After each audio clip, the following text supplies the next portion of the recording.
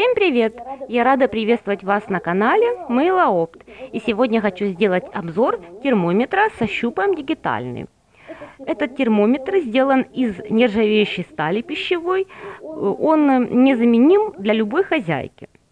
Датчик игла, он, он изготовлен из стали, э, которая не поддается никакой коррозии, то есть она не заржавеет. Даже если вы будете, например, э, проверять температуру крема, или даже воды, это, этот термометр, эта игла не заржавеет никак.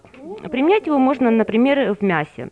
Проверять, какая температура мяса. Бывает такое, что кусочки большие, толстые, они были замороженные, поэтому неизвестно, прожарилось ли оно внутри. Благодаря этому термометру вы сможете убедиться. Также крема.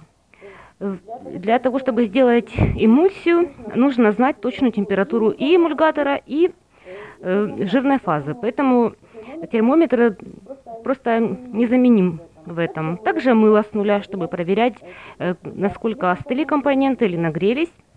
Э, в кондитерских изделиях, таких как шоколад, тот же крем.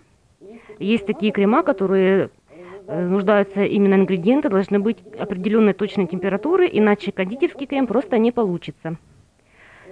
Также, например, в тех же эмульсиях, в общем, в любой косметической продукции, которая нужно измерять точную температуру. Я хочу рассказать о нем немножко поближе, вам показать. Вот так этот градусник выглядит. Термометр вот такой вот он. Вот так включается. Видите, показывает температуру. Вот такая иголочка.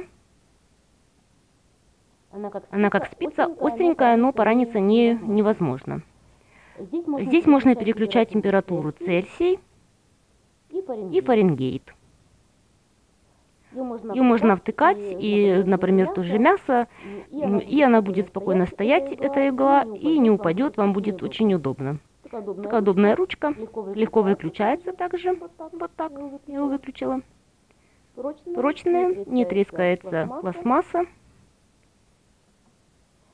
Спасибо, что посетили мой канал. В прошлый раз я снимала обзор лимонной отдушки. И ссылочку вы можете на это видео увидеть под этим обзором. Не забывайте ставить пальчики вверх, подписываться, заходите к нам еще. Хорошего вам настроения!